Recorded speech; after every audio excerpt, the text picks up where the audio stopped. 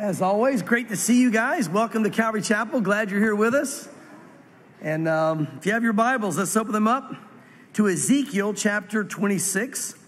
And um, I'll pray as you guys are finding your way there to Ezekiel and ask God to bless our time. So, Lord, we thank you for what you're going to show us tonight in Ezekiel. Um, Lord, the way you dealt with the uh, city of Tyre and the way you deal, Lord, with all those um, who rebel against you, rebel against your people, and allow themselves to be used by the enemy. And a lot of great insight tonight behind the scenes as well. And we thank you for that. I just pray your word, Lord, would come alive in our hearts and um, you would block out everything else that would interfere with our thoughts. Let us focus in on you now and on your word during this time. And you, by your spirit, would make that happen, Lord. You are the teacher. And your spirit, Lord, is what quickens us, the word we can understand it. So, Lord, work by your spirit now. Do that for us tonight. We want to hear from you and uh, pour out your spirit on this place and on us. And we thank you, Lord, and we ask it in Jesus' name. Amen. As we get into chapter 26 tonight, we're going to see actually, I'd like to try to cover three chapters if we can. Sometimes I can do even more than that. We've done like quite a few more than that, but these are, have a lot of stuff in them. So I'm not sure I can do it, but I'd like to, and here's why. These next three chapters deal with the city of Tyre. I'd like to cover all of that at one time because it just flows together so well. But the city of Tyre was up north of Israel. It's what we call it in modern day Lebanon today. The ancient city of Tyre no longer exists. There is a city of Tyre that is still there, but it's not in the same location. Um, and um, uh, the original location and the ancient city of Tyre no longer exists and hasn't existed for uh, uh, thousands of years. So uh, it's pretty much gone. But again, we're going to see him talk about Tyre and why God judged them. Uh, then we'll see him get into the, uh, the prince of Tyre, that is the leader of Tyre, and his attitude and his heart uh, that God had to judge. Then we're going to get to the king of Tyre, which is the spiritual aspect behind all of it. And we're going to get, you know, there's these certain passages in Scripture, you kind of get a peek behind the scenes, in, in more in depth of the spirit realm uh, about certain things. And we'll, if we get there, we'll get more uh, in depth about uh, Satan our, our, our, adversary, if you will. But let's jump into it and see if we can make it that far tonight. Notice in chapter 26, verse 1, it says, It came to pass in the 11th year of the first day of the month that the word of the Lord came to me, saying, Son of man, because Tyre has said against Jerusalem, Aha, she is broken, who was the gateway of the peoples. Now she is turned over to me, and I shall be filled. She is laid waste. Now remember what happened to all the other nations that said, Aha, we've got Israel now, and they were happy when Israel was, was falling. Remember what happened to them? They're all destroyed. We talked about that last week. Every city or nation that rejoices at the demise of Israel or fights against Israel, God says, You're fighting against me.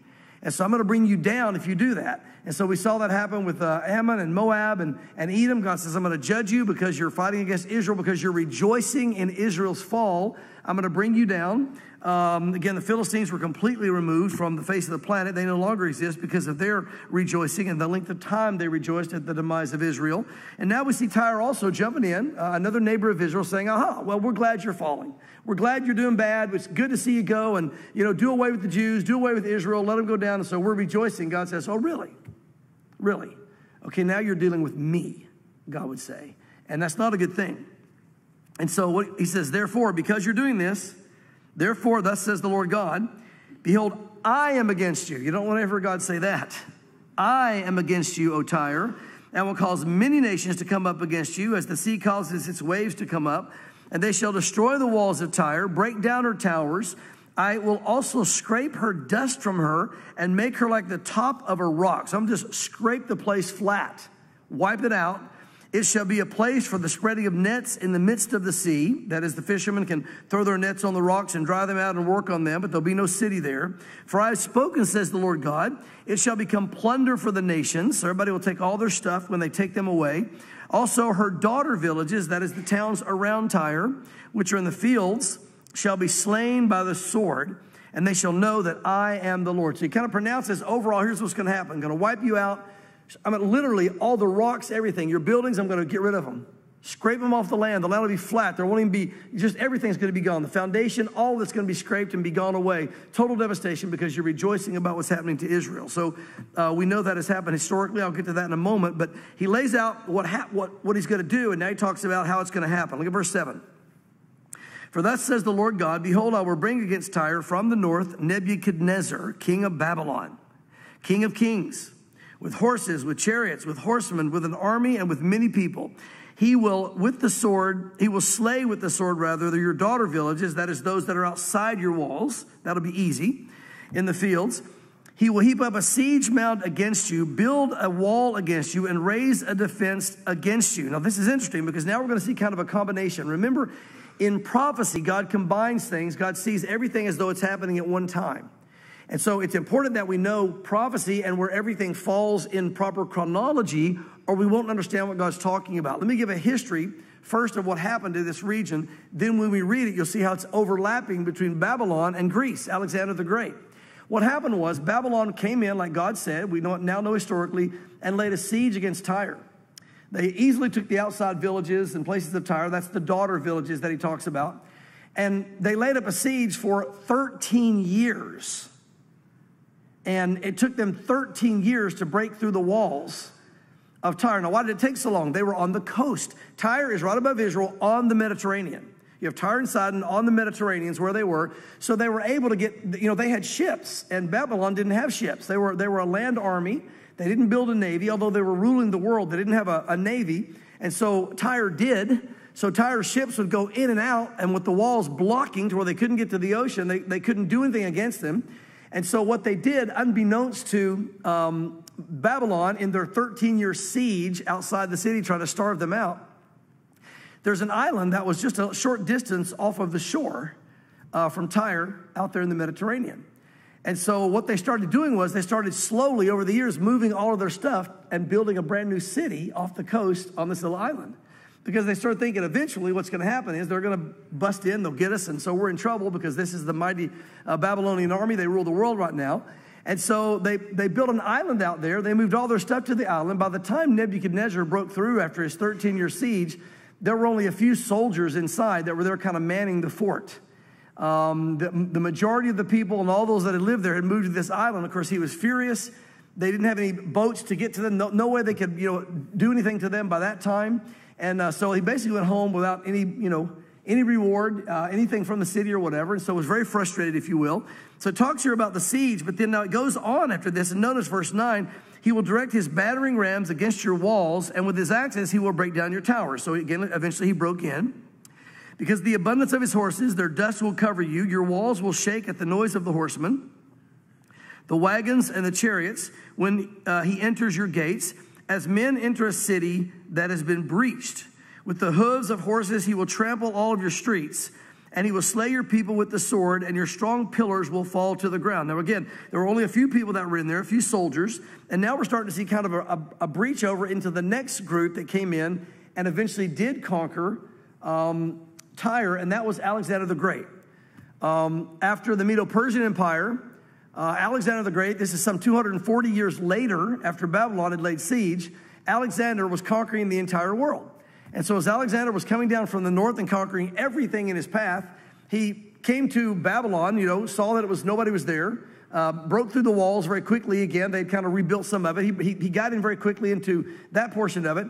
And after finding that he broke into, uh, looked into Babylon that had been conquered, nobody was there, he saw that off on the coast, or, uh, not broke into Babylon, but broke there into Tyre.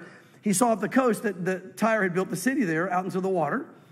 And, um, and, uh, and again, he, was, he wanted to conquer everything. He didn't want anything to be remaining that he couldn't conquer. So he was like, we're going to conquer that.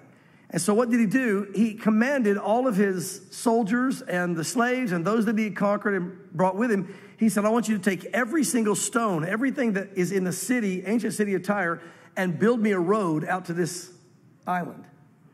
And so in seven months, they built a road out in the ocean that went all the way to this island they built there off of the coast. Again, it just shows you the tenacity and the genius and the uh, unrelenting uh, nature of Alexander the Great.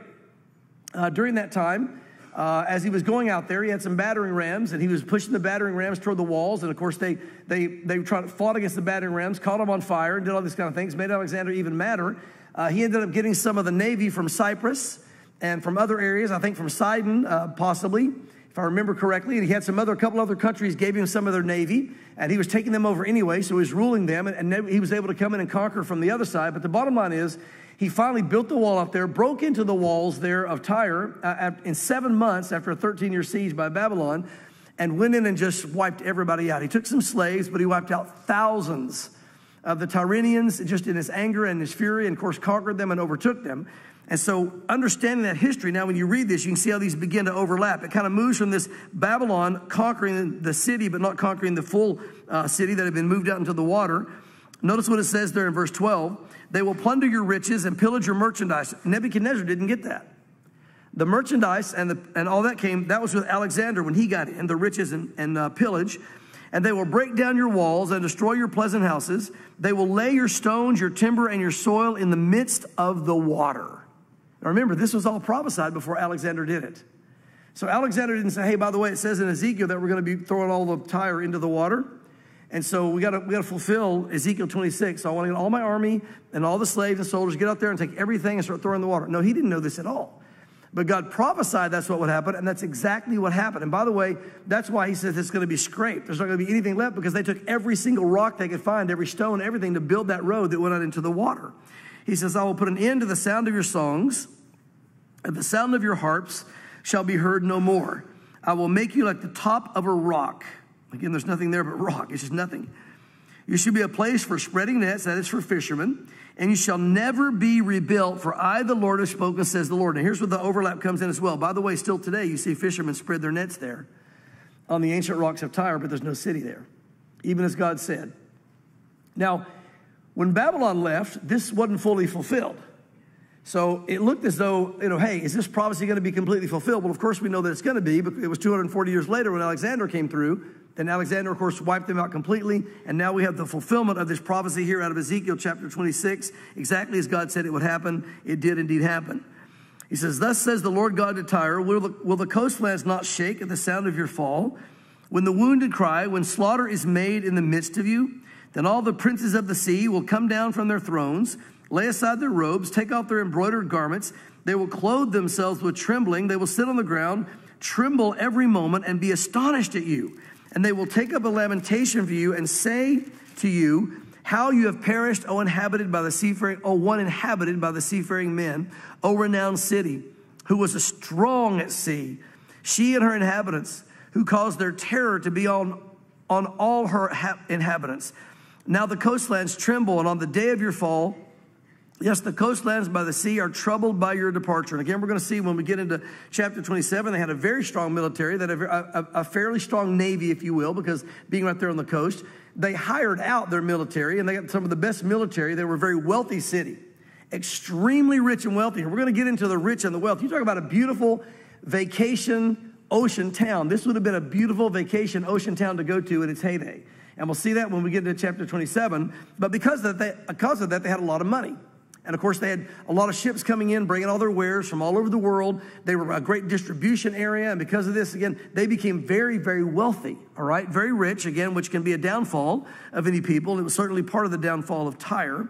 But that's what he's talking about here when he says, You were strong at sea. Uh, you made the inhabitants terrorized. They had a strong army and a strong navy, uh, not strong enough on land for Babylon and certainly not strong enough for Alexander. But for everyone else, they were a very formidable force.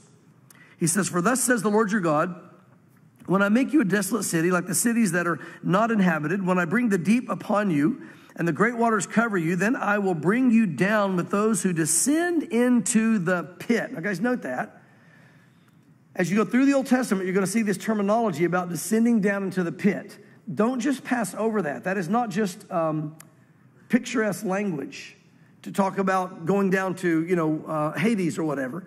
Uh, the Bible refers to the center of the earth as the pit. All through the Old Testament, it talks about the pit. And that's where Hades is, that's where Tartarus is, that's where paradise was when Jesus descended for three days and three nights. Different compartments uh, one paradise, one not so paradise, which was Hades, uh, one that holds the fallen angels. Uh, we see that in Revelation and in Second Peter. Um, and it basically a holding tank. So, uh, picture the center of the earth as kind of like it's that place where they put all the drunks before they get up the next day and have to go stand before the judge. That's really what the center of the earth is. It's a place where everybody would go and be held until they went before the judge. Now, in paradise, the believers were down there in paradise prior to the cross because remember, nobody could go to heaven until Jesus died on the cross. Jesus said himself when he came to the earth, No one has seen the Father but the Son. So we know by Jesus' own words, nobody had ever gone to heaven yet by that point. Where were they? Right? They were in paradise and that's the center of the earth, separate compartment from these other holding tanks, which is the whole area referred to as the pit. Uh, again, how do you have a paradise at the center of the earth? Well, God can do that. And God did it. And that's why He told the man on the cross, because uh, we know when Jesus died on the cross, He didn't descend back up into heaven until 40 days after His resurrection. So it was 43 days after He was on the cross that He went back to heaven.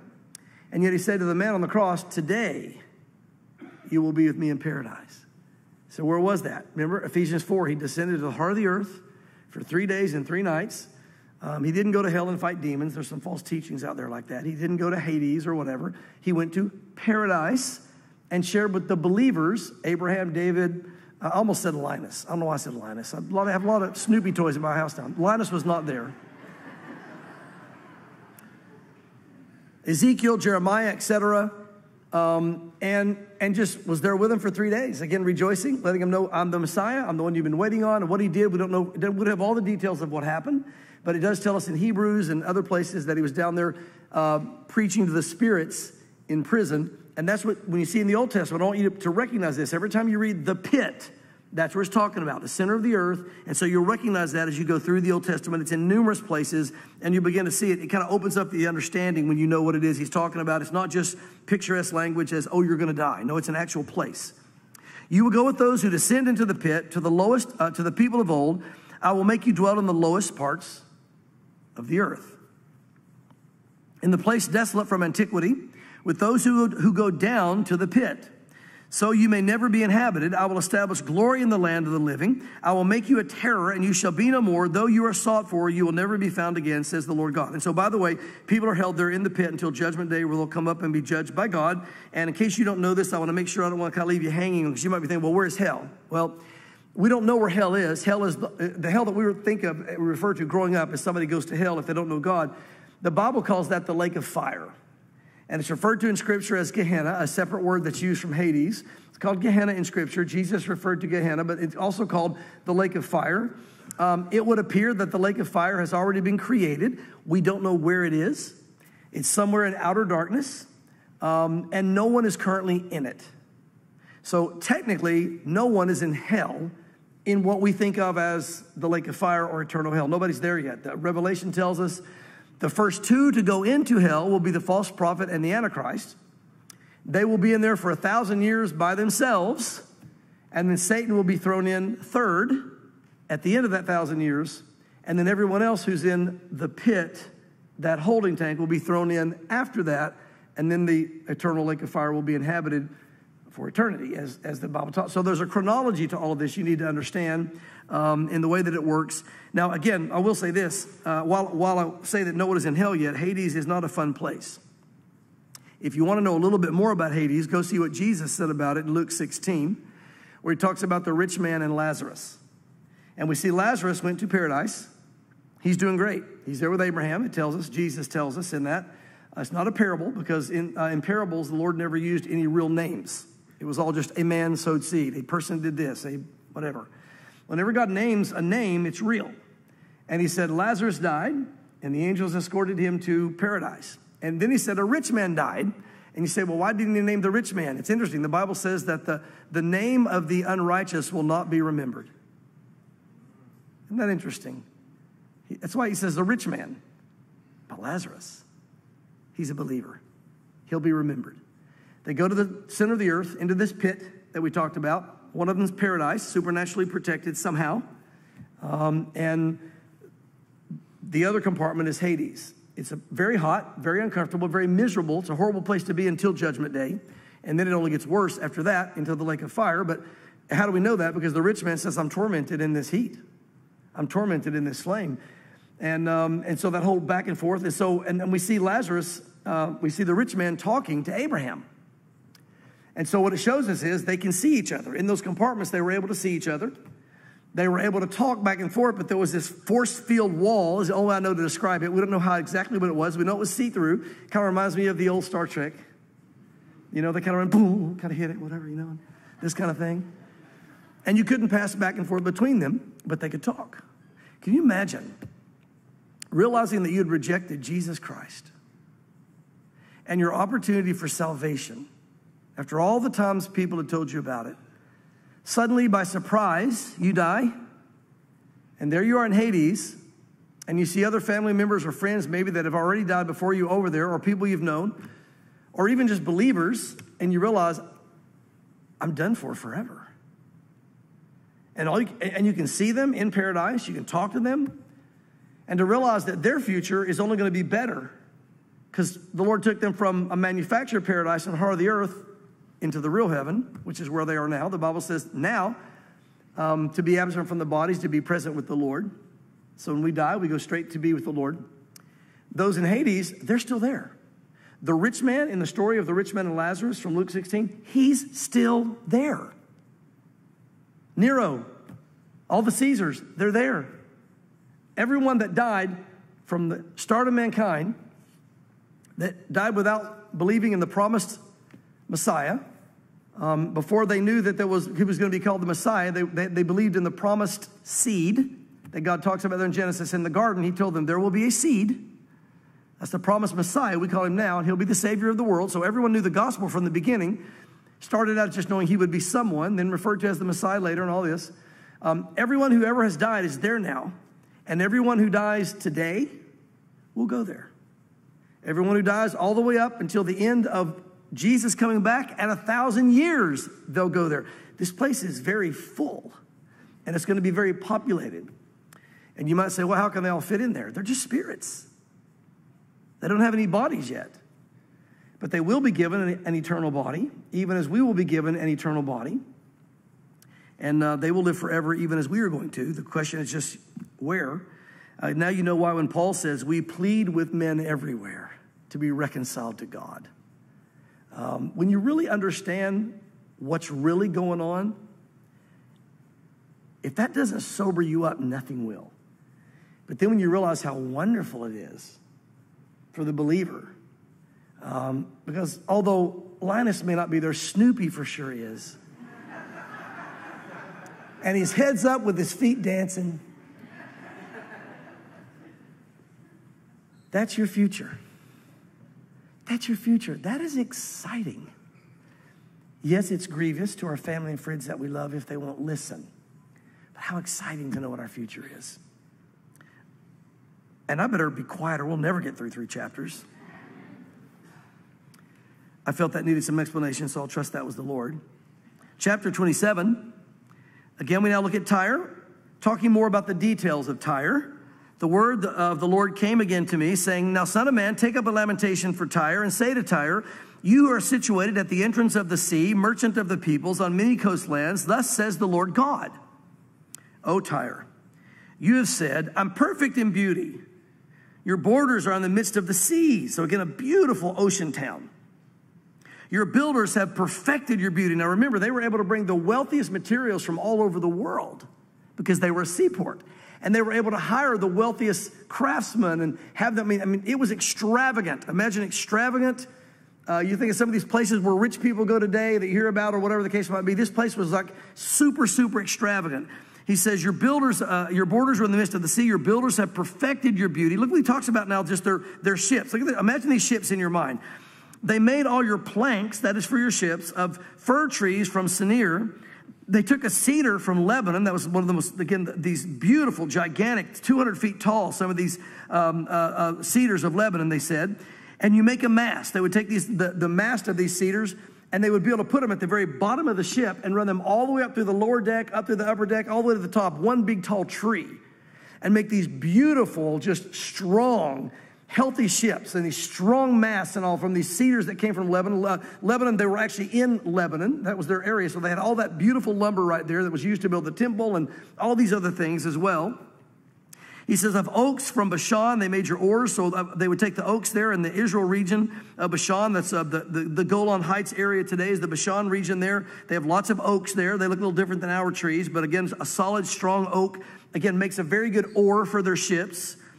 The company of Ashurites, look at this, have inlaid your planks with ivory from the coast of Cyprus. Imagine the ship, the deck of the ship. You have a plank and some ivory, a plank and some ivory, a plank and some ivory in your nice little deck shoes walking across it, right? Your deck sandals walking across it. Beautiful. With ivory from the coast of Cyprus. Now he talks about the sails. Listen to the sails of their ships.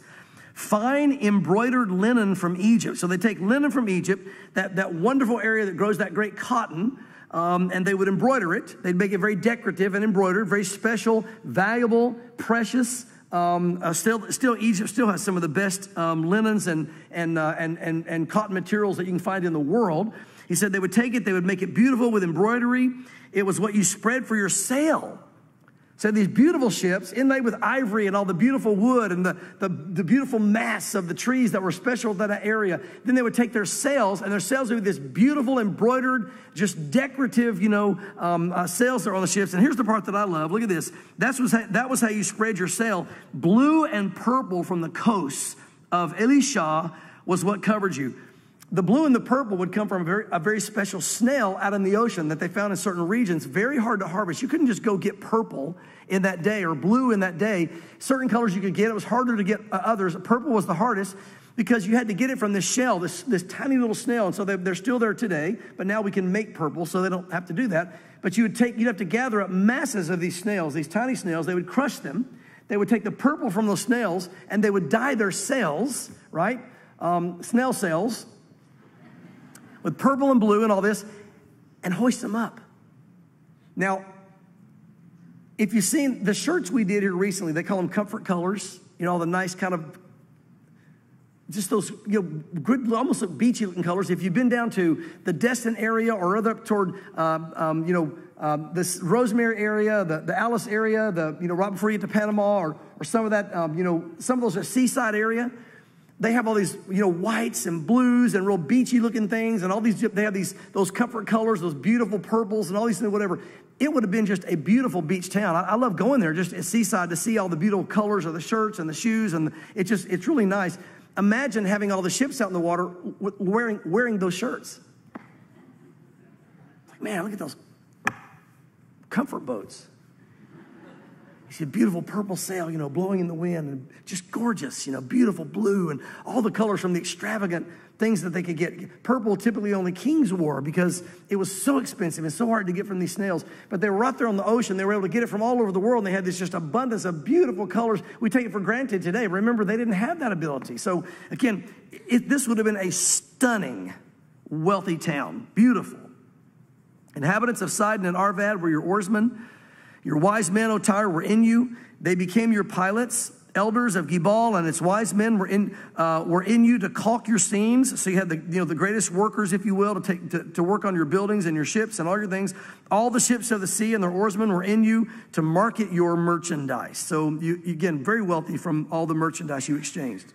Those from Persia, uh, Lydia, and Libya were in your army as men of war. So they would go and they would hire, they had all this money, they would hire the, the, the, the you know, mercenaries and some of the most talented, you know, uh, military in the region to protect their city and they had the money to do it. So we're going to bring in some of the best military from Persia, some of the best military from Lydia, guys that again that could hire themselves out. Their countries would let them do that. Uh, they weren't active in the military at the time, so they had a great war around them and a great army around them, their own land. They also had, of course, all their ships at sea, so they were they were very strong militarily. It's just that Nebuchadnezzar on land was much stronger because God made him that way, and Alexander was much stronger overall because God allowed him to grow to that strength, if you will.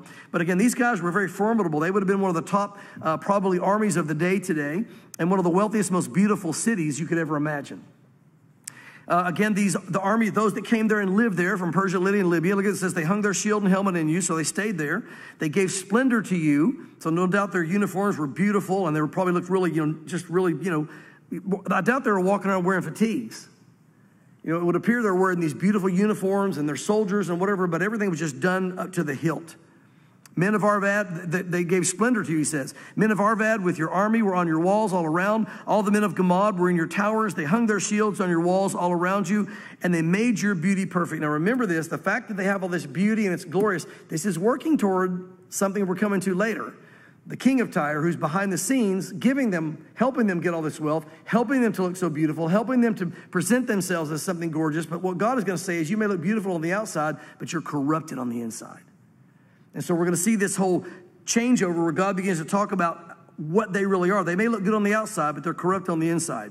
Tarshish was your merchant because of your many luxury goods, uh, either Spain or, or Britain. They gave you silver, iron, tin, and lead for your goods. Javan, Tubal, and Meshech were your traders. So they're trading with all these areas, even Russia, which is Tubal and Meshech. They bartered human lives, so they were, uh, uh, uh, you know, trafficking in slavery, maybe other things, but no doubt slavery. They bartered human lives and vessels of bronze uh, for your merchandise. Those from the house of Togarmah traded for your wares. Um, then that's again the, the whole uh, Balkan region, Togarmah, traded for your wares with horses, steeds, and mules. The men of Dedan, now we're getting into the Saudi Arabia area, Saudi Arabia area rather. The men of Dedan were your traders. Many isles were the markets of your hand or the market of your hand. They brought you ivory tusks and ebony as payment. So they're getting the wealthiest things of the earth. Syria uh, was your merchant because of the abundance of goods that you made. They gave you and your, uh, and your wares emeralds, purple, embroidery, fine linen, corals, and rubies.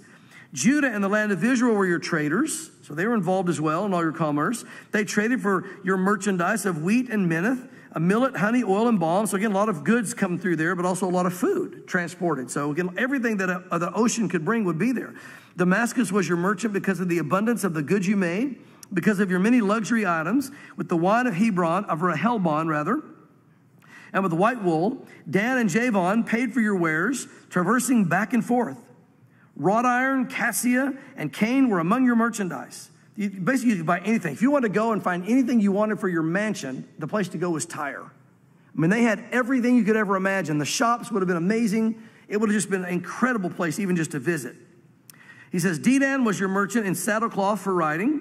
Arabia, uh, saddlecloths for riding. Arabia and all the princes of Kedar were your regular merchants. They traded with you in lambs, rams, and goats. The merchants of Sheba, uh, Sheba and Ramah were your merchants. They traded for your wares and your choice spices, all kinds of precious stones and gold. Haran, Canaan, Eden, and merchants of Sheba, Assyria, and Chilmad were your, mer- were your merchants. These were your merchants in choice items in purple clothes. Again, that's the wealthiest of the wealthy right there. In purple clothes, in embroidered garments, in chests of multicolored apparel, in sturdy woven cords, which were in your marketplace. The ships of Tarshish were carriers of your merchandise. They were filled, they were filled and very glorious in the midst of the seas. Your oarsmen brought you into many waters, but the east wind broke you in the midst of the sea. Now, the east wind is used idiomatically throughout the scriptures as God's judgment. So God is saying, although you thought you were wonderful, I broke you. In the midst of your beauty, the thing that you thought you were thriving in, I brought you down because of your rebellion to God. The east wind broke you in the midst of the seas. Your riches, your wares, and merchandise, your mariners and pilots, your caulkers and merchandisers, all the men of war who are in you, and the entire company which is in your midst will fall into the midst of the seas. Quite literally, they did. Remember what happened? Everything was scraped into the ocean to build that road for Alexander to go out and conquer them out there on that island. This will happen on the day of your ruin. The common land will shake at the sound of the cry of your pilots. All who handle the oar, the mariners, all the pilots of the sea will come down from their ships and stand on the shore. They will make their voice heard because of you. They will cry bitterly and cast dust on their heads, which again, how they mourned in the Middle East. They will roll about in ashes. They will shave themselves completely bald because of you. These are all signs of mourning. Gird, uh, gird themselves with sackcloth and weep for you with bitterness of heart and bitter wailing. Now, why were they weeping and wailing for Tyre? Because that's how they made all their money as well. It's like, hey, we're sorry you guys are gone because we were getting rich off of you. And this was a great place to do it, to sell our stuff and, and to buy stuff and all these things. And we hate that it's gone. You'd be like if, you know, again, I, I don't know that um, how many people love New York City anymore, but back when New York City was in its heyday, you know, just this amazing, you know, whatever. Imagine suddenly, boom, it's just blown up in one day and gone. It'd be like, man, I, you know, the people that were just into the things would be, would be sad that they couldn't go and, you know, go to a city like New York City anymore. So it's kind of that idea. Oh, and they weep for you with bitterness of heart and bitter, weep, bitter wailing. In their wailing for you, they will take up a lamentation and lament for you. What city is like Tyre, destroyed in the midst of the sea? When your wares went out by sea, you satisfied many people. You enriched the kings of the earth with your many luxury goods and your merchandise. But you are broken by the seas and the depths of the waters. Your merchandise and the entire company will fall in your midst. All the inhabitants of the isles will be astonished at you. Their kings will be greatly afraid, and their countenance will be troubled. The merchants among the peoples will hiss at you. You will become a horror and be no more forever. And again, that's exactly what's happened. Tyre, ancient Tyre, no longer exists. It's not there. It's been scraped. It's gone. As I said, there's a small city that was built some distance away that now calls itself Tyre because it's in that proximity, a small town. But Tyre, that God is speaking of here, has been wiped out, no longer exists. And God said that it never would exist again, that it never would be rebuilt. And that's why that region has never been rebuilt because God said it wouldn't. Now, chapter 28, we are going to be able to do it. This is great. The word of the Lord came to me again, saying, Son of man, say to the prince of Tyre. Now, this is like the, the leader of the city. Okay, we'd say the governor or whatever. Prince of Tyre, thus says the Lord God. Now, now, look what this guy thinks about himself. We get some insight into him because of all the wealth and all the beauty and all the glory. It has now gone to his head. He's now thinking more highly of himself than he ought because your heart is lifted up and you say, I am a God and I sit in the seat of gods in the midst of the seas. Now, let's just stop there before I read the rest of it. Is that not reminiscent of what's, of what's happening today? I mean, that's happening today. I mean, you guys have heard this with the World Economic Forum. You all know Harari. He's saying, he, you know, that we will become gods. He's saying now with this new technology, mankind will become gods. It'll kind of be like, you know, the whole the, the Marvel thing with the Captain America, whatever. You'll be, they'll be able to do something to you genetically or modify you by uh, whatever mechanics or whatever they use and make you superhuman or whatever. They're even talking about trying to download the stuff from your brain into another computer so that you can inhabit another body when you die and download it into that body and keep living forever. They're trying to get around God's judgment every way they can. They're talking about this very openly. Elon Musk, has talked about downloading people's brains, you know, and keeping that material, and that, and that can be downloaded into someone else younger, and you could still live in a, in a, a, new body I think they can make in a lab or whatever. They're talking about making bodies people could live. I mean, it gets bizarre when you hear what these guys are talking about. And they're very open about it. If you watch the World Economic Forum, listen to Elon Musk, any, they talk about it openly. It's not some hidden secret. But again, they're openly talking about one day we will be gods. Guys, where, whose voice is that? What did Satan say to Eve in the garden? You will be like God. So it's the same lie repackaged over and over. And if you think today, wow, people are saying we can be gods today, listen, this has been going on for a long time. It was going on back in Tyre. It was going on before Tyre, all the way back to the garden. Remember, it was, was it back in the 80s uh, when that whole Shirley MacLaine and that whole group were saying they were gods, you know, and, and you just had to figure out you were a god or whatever, and this kind of thing. And, and just, it's so ridiculous. I mean, if you're a God, you know, then you should be able to just appear in one place and appear in another place. You didn't have to ever walk. Um, you can just create things you want to create. It's nonsense what Satan can make people believe, but they really convinced themselves they were gods, somehow connected to whatever this case might be. The, the whole spiritism, you know, the whole Christ consciousness, New Age type stuff. That's exactly what's happening here. He says, You say I'm a God. I sit in the seat of gods in the midst of the seas. He's, he's hearing the lies of Satan, but God corrects him. Yet you are a man and not a God though you set your heart as the heart of a God. Again, the two great truths, you know, throughout eternity, there's one God and we aren't Him. You know, He alone is God. God said, says all through the scripture, you know, multiple times, you know, in, in, in Isaiah chapters like 40 through 46 or whatever, you know, I am God and there is no other. That settles it. And yet they believe they can be God. It's amazing. And again, we see it today. Uh, people that still, even again, like with modern day, it, sometimes I think we kind of forget, like even the Mormons, they, they believe they one day will be a God. So it's not, it's, it's not something that's that unusual when the New Age popped up. The Mormons have been doing it for a long time. Hinduism has been saying it for a long time. Um, now that the World Economic Forum, they're all starting to say this kind of same thing. It's the same spirit, it's just in different packages. He says, though, though you set your heart as the heart of a God, behold, you're wiser than Daniel. He's mocking him. It's a mockery. He's not really saying he's wiser than Daniel. He's saying, oh, you must be wiser than Daniel, the one that I gave all the visions and the dreams to you. You know nothing. Daniel wasn't even a God, and yet I showed Daniel dreams and visions and things you'll never even begin to understand. There's no secret that can be hidden from you. With your wisdom and your understanding, you've gained riches for yourself and gathered gold and silver into your treasuries. Now, you did nobody helped you. you. You pulled yourself up by your own bootstraps. You made, you're a self-made man. Yeah, right.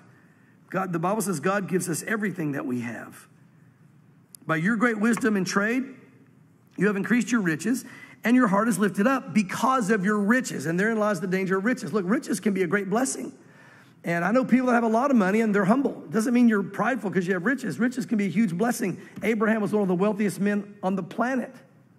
Jacob became very wealthy as well. You look at the, the men of God, uh, oftentimes became very wealthy. So it's not, money's not the issue.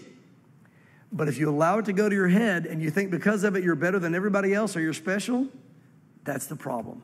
He says, Now pride is taken over. You've lifted yourself up. You don't remember that you're only a man. That's it. And your heart's lifted up because of your riches.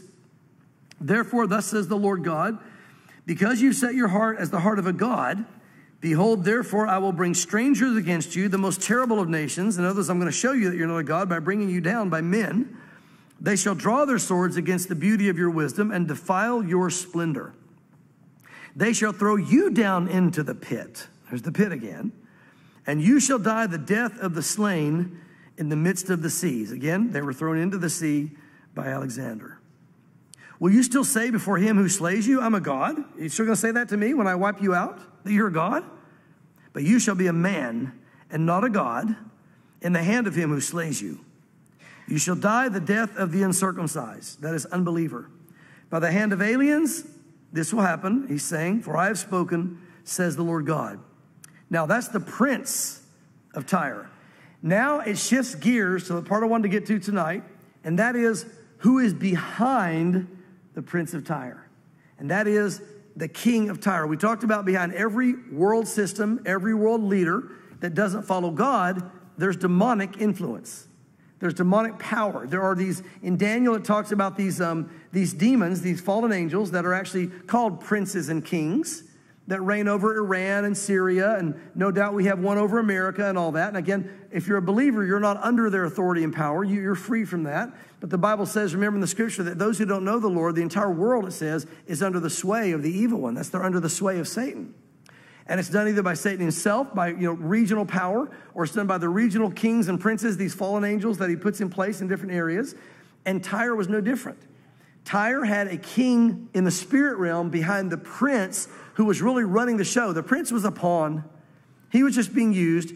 And, and because uh, Satan was working through him, he thought that he was the one that had all this splendor, that he had made all this greatness. No, it was because of the, the influence of Satan and the deception of Satan. And now we're going to see that Satan indeed is this king of Tyre behind him. Uh, but it's, it not only is that kind of an interesting insight to see how the enemy works behind the scenes, but also we're going to learn some things about Satan that are really amazing and give us some great insight. And so now let's jump into it. He says, Moreover, the word of the Lord came to me, saying, Son of man, take up a lamentation for the king of Tyre and say to him. Now we're going to find out, obviously, it's not a man because the way he's described here makes it very clear this is a supernatural being. Thus, say to him, Thus says the Lord God. So you make this proclamation to Satan. He's telling Ezekiel to make this proclamation prophetically now to Satan. You were the seal of perfection full of wisdom and perfect in beauty. Just stop there for a moment. This is talking about Satan. He was the seal, in God's eyes, the seal of perfection. Perfect in beauty. Now, think of some things that are beautiful to you, whether it be a person or a place or whatever, or a thing. It's not perfect. It may look perfect, but in the fallen world, it can't be. But Satan was in heaven at this time, as God's describing, he was perfect. His beauty was extravagant. Now, whatever your image is of Satan, you need to reset it if it's not this. And this is where a lot of people stumble because they don't realize we're dealing with someone that's extremely beautiful and deceptive in their beauty and how they present things to us. You know, um, and they make it seem beautiful. Satan can make sin seem beautiful until the consequences come, and then we know that it's not. But the whole, you know, picture of this, and yes, in heart, he is the ugly imagery that you see all the time, you know, of all these demonic things and all that. But the Bible says he, he works as an angel of light. He's beautiful in appearance. That's why uh, even the Antichrist, when he comes behind the Antichrist, and the Antichrist comes on the scene, the way he's supporting the Prince of Tyre here, when the Antichrist comes on the scene, he's going to be just handsome and attractive, and the world's going to go, wow, what authority and what, what beauty and what just, oh, there's, there's something about him, you know, or whatever. And the world's going to be enamored by this guy. And you see a lot of people that, that, that the enemy gives this kind of glory, if you will. They last for a short amount of time because it goes to their head and then God brings them down. But um, again, you try to imagine what Satan is like. And I say is like because he's still this way. Now, his heart is ugly and dark, but he's a, an amazingly beautiful. Matter of fact, it could be possible that aside from the Lord himself, he might be the most beautiful created thing that God ever made. And that's what this bears out.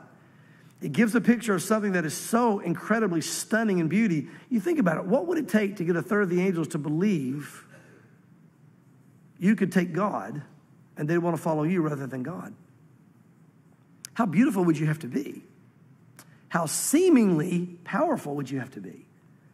How persuasive in your charisma, your character, the way you can get people to gather to you and follow you because of all this, whoa, you're perfect everything. You know, just wow. Listen to the description of this guy. He was some handsome devil.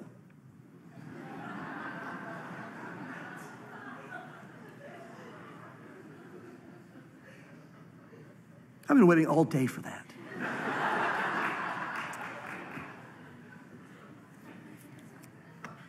you were in Eden, the garden of God. Every precious stone was your covering. Now, did he wear them or were they him? Think about that for a minute. I don't know. I kind of doubt that he had to put something on. My guess is he is made out of precious jewelry stones. That's his very body. It's made of precious jewelry stones. Could be something you put on. I don't think so. I think we're going to be taking things on and off in heaven. I think it's just going to, it is what it is. Imagine a being that's made out of all the most beautiful, precious jewels that God can create in the glory of God in heaven, untainted. And that's who he is. He, he comes walking up. He is a walking jewel. That's just stunning when you think about it. The sardius, the topaz, the diamond, beryl, onyx, jasper, sapphire, turquoise, and emerald with gold. What did he look like when he walked in the glory of God in heaven? All those colors going through those beautiful, pure jewels. The other angels had to be going, Whoa, no wonder you're the cherub that covers. Oh my goodness. What, when God made you, and there wouldn't have been jealousy in their hearts. You know, the ones that fell, there would have been, but the ones that were pure, they'd be just going, man, wow. You know? Notice this. He says, the sardius, the topaz, the diamond, the beryl, onyx, turquoise, the workmanship, well, turquoise and emerald with gold, the workmanship of your timbrels and pipes were prepared for you on the day that you were created. Now, here's something to note He's a created being. God is the creator. He was created. But notice this when it talks about all these beautiful jewels, it also says something else, else about his body. His body is an instrument. So he walks up, floats up, flies up, and he's got all these be- this unbelievable, stunning beauty and made of jewels, and just this sound comes out. like, Oh my what instrument is he playing? He's not playing an instrument, he is the instrument. Music is powerful, it stirs us to the very soul. God knows that. God created music to stir us to the very soul. Music can be used as an amazing tool to bring glory to God that we're not even going to imagine until we get to heaven. The kind of worship we're going to have there, you can't even imagine what that's like. But you think about the worship that came out of Satan as the covering cherub. I don't know what it means by covering. I don't know that any theologian knows for sure what that means. We know there are cherub underneath the Lord's throne, one on each corner. We saw that the first chapter of Ezekiel. It's in other places as well. Maybe, maybe Satan was kind of, you know, somewhere higher above them, floating, covering. I don't know. I don't know how that. We don't know, but he had this special honor, this special place. It, it wasn't enough. He wanted to be like God. He needed more. And, it, was, it was his downfall. But it was all this beauty and all that deceived him. And, his, and, and the very instrument, I think about the worship coming out of him. Now, I say that music can be used in an amazing, wonderful way for God. But this is why you see music used so powerfully in darkness as well. Many of the, you know, mass killings and these school shootings and these teenagers, they're all jacked up on this really just, you know, this thrash metal and all this kind of stuff. There's a power to it. Listen, there's nothing wrong. Music is, is from scripture, from what we can see, music itself is amoral, okay? A, a good rock chord is not sinful. It's pretty cool. Ah, that's pretty cool, all right? I used to could do that better, but ah, I can't, I can't do it anymore. Violin, the sweetness of the sound, um, But when it's used with the power of the enemy, I mean, think about it. Some believe he was the worship leader in heaven. It makes sense. And now he's here trying to make mankind fall. He used to use music to glorify God. Think where his focus would be. If he is an instrument, where would his focus be on this earth in getting people to fall away from God? In the music realm. And that's why you see so much wickedness connected to the music realm. Again, music, I'm not talking about certain kinds of music, okay? Whatever you like, as long as it honors God. But it can be used in very dark ways to dishonor God. And I can tell you, coming out of that world, and again, growing up in the concerts or whatever before I knew the Lord and that kind of stuff, I mean, Satan wants people to worship him. And there really is, as I look back now, there was a sense of worship of those guys on the stage. I, mean, I probably wouldn't have admitted that. But there's this, there's something powerful about it. It causes people to stampede and knock down gates and, you know, throw their bodies at people sell their souls and do all these things for, for, for this. What's behind that? Is it just because the music's really cool? I don't think so. I think there's a demonic power behind a lot of this stuff that is really drawing in people to worship, all age groups. And I think it ultimately is Satan getting people to, to worship him. Turn to me, give me the glory. And he's giving and using that musical influence, I think, to, to draw out gifts that God gave to be used for his glory. Think of all these people that God gave these amazing gifts. And God gave these people these amazing gifts to be used for God. Satan was able to turn them around and have them used for Satan, which is what he wants. He wants to be worshiped. So be very wise. Uh, you know, I, I, I, when it comes to music, you know, it's not a sin to listen to something that's not Christian. I'm not saying that. I mean, there's a lot of great music, you know. Uh, no, jazz isn't one of them, but there's a lot of other. I'm sorry if I offended some of you, but. That fusion stuff, confusion is what I call it, but anyway. But it's how the music is used. It's how it's used. Is it glorifying God? What are the words and what's the spirit behind it? Guys, there's a spirit behind music. So don't just don't judge music just by the kind of music that it is. Music's amoral as far as we can tell. But it's the spirit behind whatever kind of music it is. So he's this instrument. The workmanship, again, it gives a picture of these beautiful timbrels and pipes. I mean, workmanship, you were the anointed cherub who covers. I established you. You were on the holy mountain of God. Remember, Satan said, I will ascend to the farthest sides of the north. I will walk in the mountain of God. You walk back and forth in the midst of the fiery stones. Well, what are the fiery stones in the mountain of God going to look like? Wow. It's like you had the privilege and honor to walk in the midst of the fiery stones of the mountain of God, and you were all these jewels, and they shine through you. Your, your splendor enamored the angels. Look at this. You were perfect in your ways. In the day you were created, he keeps reminding him, you're a created being. I'm taking you down until iniquity was found in you. By the abundance of your trading, this is interesting. He uses the analogy of the merchants and all the things they sold in Tyre, right? Because that's what they were doing for all the money and all the things they were selling. But the root word in here, yes, it does mean trading, such as merchandise, but in the root word, it also means gossip and slander. Isn't that interesting? By gossip and slander, he turned a third of the angels away from God. How long did that take? How long did God give him? And why did God do it? You ever think about a church split in heaven? I don't think I can follow the leadership. I don't, I don't, I, I, guys, why are, we, why are we following God? Let's do our own thing. Follow me. Look at me. Come on. What can God do that I can't do? Well, you know, you are awfully beautiful. You got I think, how could an angel fall for that? But it shows you how beautiful that he was, right? And he literally led a rebellion in heaven, and God allowed it to happen. Why would God allow it? Because God said, All right, I'm going to see who's really with me in heart and who's not. We're going to thin out the ranks. It's interesting, when Jesus started teaching hard things, he said, If you don't eat my flesh and drink my blood, you can have no part in me. He knew that would freak some people out. Sounds like cannibalism, right? But he wanted to see, do you trust me enough to know that I'm not a cannibal? Do you trust me enough to know that I'm speaking something spiritual that you don't understand yet? Do you really trust me? Do you love me? And you trust me? He says, at that time, a group of them got up and left. The Lord didn't chase after them. Come back, come back, come back. It's just an analogy. We got a church growth thing going, and if you're going to go, you can go. Hey, disciples, are you going to go? Are you going to, Peter, are you going to go? I don't know what you're talking about. This whole eat flesh thing. But you hold the words of life, there's nowhere to go. I'm staying here. That's the heart I want, Peter. You love me and trust me even when you don't understand.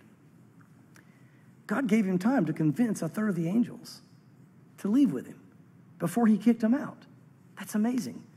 And I'll tell you, if you're not satisfied with that church, you'll never find one. When God is your pastor, if that's not good enough, gossip and slander has destroyed many churches throughout history, and it started in heaven, and it's always led up by guess who? Satan himself. You became filled with violence within, and you sinned. Therefore, I cast you as a profane thing out of the mountain of God. And I destroyed you, O covering cherub, from the midst of the fiery stones. Your heart was lifted up because of your beauty. You corrupted your wisdom for the sake of your splendor. I cast you to the ground. I laid you before kings that they might gaze at you. Again, he's speaking futuristically now on, when, when finally Satan will be judged. You defiled your sanctuaries by the multitude of your iniquities, by the iniquity of your trading. Same idea. Therefore, I brought fire from your midst and it devoured you and I turned you to ashes upon the earth in the sight of all who saw you. All who knew you uh, among the peoples are astonished at you. You become a horror and shall be no more forever. So you're going to be wiped out and you're going to be done. So there's the future of Satan. But what an amazing revelation of who Satan really is. Like great insight. We need to know who our enemy is. We don't have to study him or you know that kind of thing, but it's good to know who our enemy is. It prepares us. And he finishes out the last few verses here, which is where we'll stop tonight with a proclamation against Sidon because Sidon was right there next to Tyre. Tyre and Sidon were right there together. And Sidon also is rejoicing at the demise of Israel, or they're also going to be judged. He says, The word of the Lord came to me, saying, Son of man, set your face towards Sidon and prophesy against her and say, Thus says the Lord, Behold, I'm against you, O Sidon. I will be glorified in your midst. And they shall know that I am the Lord when I execute judgments in her and am hallowed in her. For I will send pestilence upon her and blood in her streets. The wounded shall be judged in her midst by the sword against her on every side. They shall know that I am the Lord. And there shall no longer be a pricking briar or painful thorn for the house of Israel from among all who are around them who despise them. Uh, so again, you're, you're, you're like a pricking thorn despising Israel. You're doing the same thing all the other peoples did, so I'm bringing you down as well, Sidon. Then they, shall, then they shall know that I am the Lord. Again, we talked about it last week. Don't mess with Israel. If you're going to do anything with Israel, be a blessing to them. It doesn't mean they're perfect. Doesn't mean they're not sinners, doesn't mean they're not rejecting God, because they are right now. They're a stiff necked people. God called them that for a reason. But He said, I'm going to restore them. I'm going to revive them. In the last days, they're going to believe in Jesus, and there's going to be a massive outpouring of my spirit and a revival. He said, They're the apple of my eye. You better love them. You better be kind to them. And by the way, no matter how they're acting, if you bless them, I'll bless you. Genesis 12, 3. 25, he says, Thus says the Lord God, when I've gathered the house of Israel from the peoples, among whom they are scattered, and am hallowed in them in the sight of the Gentiles. Then they will dwell in their own land, which I gave to my servant Jacob. So I'm going to bring them back. I'm going to give them the land. That's why you better quit trying to attack them, because I'm going to bless them. And they will dwell safely. Again, this is talking about the thousand year reign, the millennial kingdom. They will dwell safely, build houses, plant vineyards. Yes, they will dwell securely when I execute judgments on those around them who despise them. Then they shall know that I am the Lord their God. Wow, we did it. What an amazing portion of scripture. Powerful. Guys, let me wrap this up, and again, um, we're out of time, but you know, remember the adversary we face is very deceptive and he, he, he's very beautiful. He, he comes across not like you think he would come across. Don't be deceived because it feels good or looks good. If it feels good or looks good and lines up with the scripture, enjoy. If it feels good and looks good and doesn't line up with the scripture, run because it is a, a deception I'm sure for a while, a third of the angels thought this is awesome. We're going to take over and do the things the way that we want. Satan's on our side. We're going to follow him. We're going to do it different, right? They probably felt great for just a second. And then all of a sudden they realize, boom, they're done. I was, what did we just do? How many people think sin is so wonderful until they do it, and right afterwards they go, what have I done? Right? Same kind of thing. Don't be snookered by the enemy. Be, be wise. He's beautiful, but the Lord is more beautiful. He has some power that God has given him, but God has all power. He's created, God is the creator. Worship the Lord. I know I don't have to tell you guys that, but at the same time, guard your heart from the enemy, the deceptions of the enemy. And um, uh, again, I think it's going to be amazing. I can't wait to see um, when we get to see what Satan looks like. And I mean, all these things, it's going to be amazing, guys. Heaven is going to be amazing. I can't wait to see the fiery stones of the mountain of God. It's going to be amazing. Matter of fact, the Bible says you guys are going to shine like the stars of heaven. That's going to be pretty cool. You know, I would put on my sunglasses just to say hi to you. Let's pray. Lord, I thank you, God, that you have such a great future ahead of us. And